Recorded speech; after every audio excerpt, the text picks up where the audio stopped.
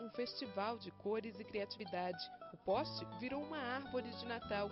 E não é só isso não. Nesta casa que fica em Taguatinga é possível ver até neve. E o Papai Noel já chegou por aqui. Por sinal, tem uns bem moderninhos, viu? Tem esse que anda de skate, o outro mais aventureiro que prefere a moto e, claro, o tradicional que está cheio de presentes para distribuir. Tudo isso foi preparado pelo seu Antônio, que pela primeira vez vai participar do concurso Brasília Iluminada.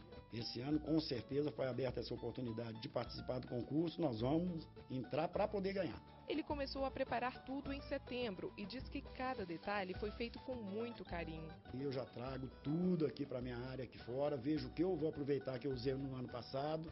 Aí começa, depois de tudo separado, vejo o que, que nós vamos reutilizar deixa separado e vamos para as compras, ver o que, que, tem de novidade, vamos começar a procurar. Rosângela participou do concurso no ano passado e a rua que ela mora ficou em segundo lugar. Ela conta que todos os vizinhos se uniram para fazer uma bela decoração.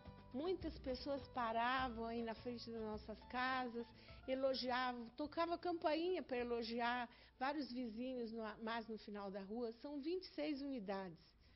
Então, até mesmo aquelas que estão em construção colocaram luz na, na fachada para participar. Tem sido um grande sucesso. A intenção é incentivar as pessoas, os brasilienses, né, a iluminarem suas casas, iluminarem toda a parte de rua, fazer as confraternizações, juntarem as pessoas nesse, nesse momento que é tão bonito, momento de Natal.